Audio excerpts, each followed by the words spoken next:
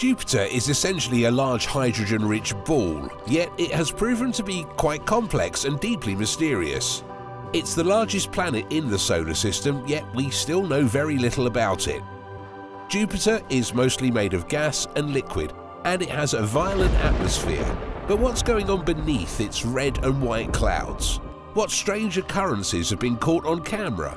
In this video, we're going to take a look at the most incredible and frightening images captured of Jupiter. There is no shortage of fascinating images taken of Jupiter. To be sure, the King of the Planets has proven itself more than worthy of its title. With thunderheads that tower 40 miles high and stretch half the width of a continent and enormous storms that rage for centuries, scientists are always left in awe when we get a good look at the gas giant. Many aspects of its volatile and ever-changing atmosphere remain a mystery, despite more than 400 years of scientific observation. The Juno spacecraft teamed up with NASA's Hubble Space Telescope and the ground-based Gemini Observatory in Hawaii to investigate the solar system's most powerful storms, which occur more than 500 million miles away on Jupiter. The Hubble Space Telescope, Gemini Observatory and Juno spacecraft have been working together to study storm systems, Scientists can now monitor Jupiter's weather and estimate the amount of water in the atmosphere thanks to this unusual partnership, which offers insights into how the planet operates today and how it and the other planets in our solar system evolved more than four and a half billion years ago. The Great Red Spot is the planet's most recognizable feature, a storm that is larger than planet Earth itself. Besides the fact that it is the greatest storm in the solar system, it can be compared to the storms we encounter right here at home. The depth of the Great Red Spot was a mystery, even though its width was well known. On the other hand, Juno was able to have a glimpse inside. Juno is a NASA orbiter, which is a spacecraft that orbits the Earth. Launched from Earth in 2011, it arrived at Jupiter in 2016 after a five-year voyage and has been circling and analysing the planet ever since. Juno's orbit travelled above the Great Red Spot in 2019, allowing it to explore the storm with its microwave radiometer. Researchers found that the storm had a height of almost 200 miles, which was far higher than expected. This indicates that the storm is located below the layer where the sun may warm the atmosphere and above the layer where the water droplets condense and clouds form. Scientists look for the Great Red Spot's gravity signature, which can be detected due to the storm's massive size, to confirm the MWR's findings. A NASA Deep Space Network tracking antenna measured 1 nanometer per second of velocity change. They concluded that the Great Red Spot's depth does not exceed 300 miles below the cloud tops, confirming the MWR's findings that it is over 200 miles deep, which is far deeper than previously thought. Jupiter features clockwise cyclones and anticyclones that rotate counterclockwise, just like Earth. An anticyclone is what we see in the Great Red Spot on Jupiter, there are many deep storms on the planet, but the MWR also discovered that Jupiter's storms are warm and dense at the top, but cold and dense at the bottom. There are three ways to look at Jupiter. Gemini North and the NASA ESA Hubble Space Telescope captured stunning photographs of Jupiter in the infrared, visible and ultraviolet wavelengths of light. The Great Red Spot, superstorms and massive cyclones that stretch across the planet's disk are all seen in detail in these pictures. These three interactive graphs let you compare Jupiter observations at various wavelengths and study the gas giant's clouds for yourself. Observing planets and other celestial objects at various wavelengths of light allows scientists to gain previously unattainable insights. These three portraits demonstrate the key advantage of multi-wavelength astronomy. In the case of Jupiter, studies in the infrared, visible and ultraviolet wavelengths provide a dramatically different picture of the planet. It is easy to see the planet's great red spot in visible and ultraviolet light, but infrared photographs reveal almost nothing of the storm system. In contrast, Jupiter's counter-rotating bands of clouds can be seen clearly from all three angles. Infrared images of the Great Red Spot reveal that the black area is greater than the equivalent red oval in the visible image, which is surprising. It shows thick clouds, while visible and ultraviolet observations show the locations of chromophores, the particles that give the Great Red Spot its distinctive hue by absorbing blue and ultraviolet light. This discrepancy arises because different structures are revealed by different wavelengths. In these photographs, the Great Red Spot is there, but there are also other storm systems.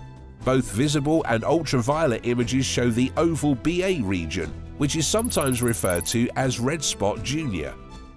In the year 2000, three storms of comparable size merged to form the storm to the lower right of its larger counterpart. Visible light images show a red outer rim with a white core, which is clearly delineated in the visible spectrum. On the other hand, the infrared image shows no sign of red spot junior because it is obscured by the darker band of colder clouds. Chromophores in red spot junior absorb ultraviolet and blue wavelengths of solar radiation, giving it a reddish hue when observed under visible light and a black appearance when observed under ultraviolet light, just like the Great Red Spot. There is a diagonal white streak flowing toward Jupiter's right side just above Red Spot Junior in the visible observations of a Jovian superstorm. However, Red Spot Junior is not always red in Hubble's visible light view of Jupiter obtained in January 2017. A few years after it was formed, it developed a reddish-brown colour. In the intervening time, it has darkened and now seems white. It is safe to say that the three storms that formed Red Spot Junior in the year 2000 were of comparable size, both individually and together. However, Red Spot Junior remained the same size as any of the three storms that merged after they were combined.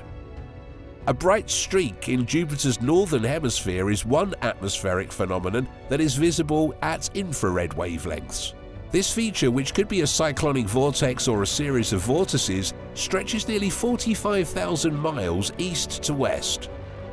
The cyclone appears dark brown at visible wavelength, earning it the nickname brown barges in NASA's Voyager spacecraft images. However, at ultraviolet wavelengths the feature is barely visible beneath a layer of stratospheric haze that darkens as it approaches the North Pole. Similarly, four large hotspots appear bright in the infrared image but dark in both the visible and ultraviolet views, lined up beneath the brown barge. When astronomers first observed Jupiter in infrared wavelengths in the 1960s, they discovered such features. These observations provide insights into Jupiter's atmosphere, with each wavelength probing different layers of cloud and haze particles and providing a beautiful scenic tour of the planet. In places where NASA's Juno spacecraft detected radio signals emanating from lightning activity, a team of astronomers used telescope data to evaluate the cloud structure.